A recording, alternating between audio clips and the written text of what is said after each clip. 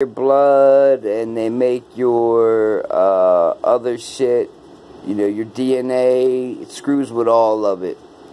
And it's sad and sick to know that people are willing to be bought for a few shekels to harm someone else.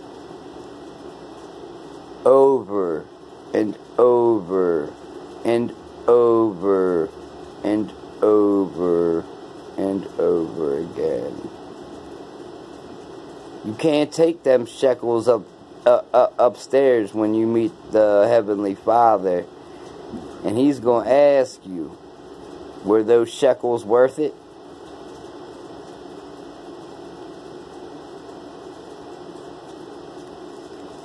I hope they were.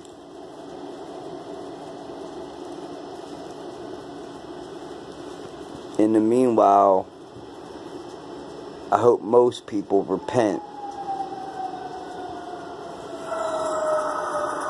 That shit sounds like he stalled for a minute. Sad.